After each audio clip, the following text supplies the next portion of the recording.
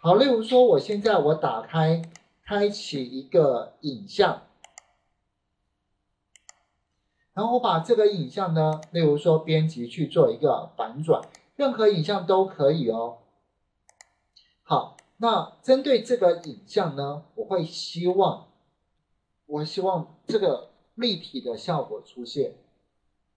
第一件事情，把这个图层管理员。图层管理员再做出一模一样的图层，那就是再制。所以你就用滑鼠右键，针对这个基底，就是背景层再制。你现在是不是就有两层一模一样的内容？然后针对上面这一层，我们可以去改成改成这边有一个呃叫做浮雕，改成叫浮雕。哎，那你你怎么记？例如说这个浮雕，各位应该。不难去想象，呃，什么是浮雕？就是会有高低差。那它为什么是放在填充与材质这边呢？这一直都是我觉得很奇怪的地方。填充与材质，浮雕，这都就是浮雕嘛？各位应该知道什么叫浮雕？呃，很类似像那个石刻或明版画，好那种那种感觉。那假如说我今天这应该就是。我既有的影像是凸出来，对不对？这是凸出来的浮雕，这是什么？凹下去。好，那所以我会希望说，我既有的影像凸出来会比较明显一点。这边还有选项，你可以再去做，再去做一些其他的控制，比如说深度，好，或者是凸出来。诶，我重新做，我觉得我想要把。这个影像做凸出来，凸出来，按确定。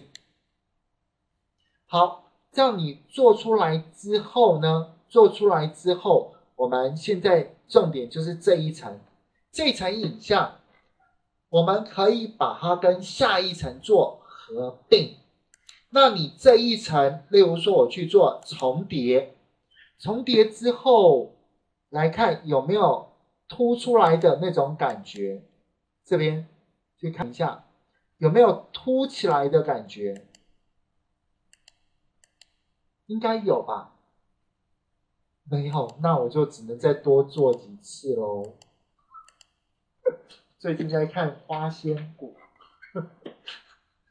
就是多练习几遍，然后就可以成仙成佛。好，是真的有。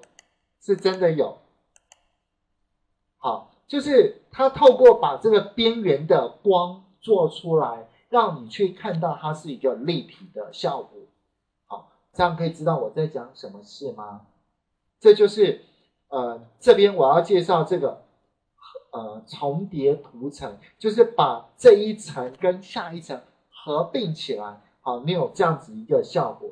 意思也就是说，你把这一层就当做是滤镜。滤镜，然后两层堆叠起来去看，它变成立体的这种这种效果，看得出来哦，这字就很明显了，这个字就有立体的效果，这应该不用凭感觉，应该可以看出来。好，它变成一个像立体的一个影像。好，那接下来就请你们动手去做一下立体化。